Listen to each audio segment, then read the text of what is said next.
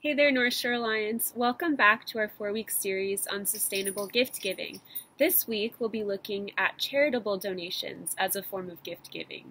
Today, we're going to answer two questions. First of all, the why. Why should we donate to these charities? And second, we're going to answer the who. Who can we donate to? So, first, why? Why should we give to charities at Christmas?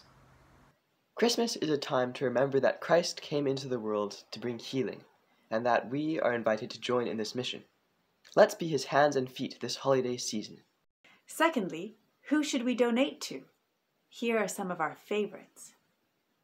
Our first charity to check out is Compassion. When you donate to Compassion, you are helping ease the suffering of impoverished and vulnerable communities, including climate refugees. Another wonderful charity is World Land Trust, an environmental group that is seeking to restore and protect the forests of our world.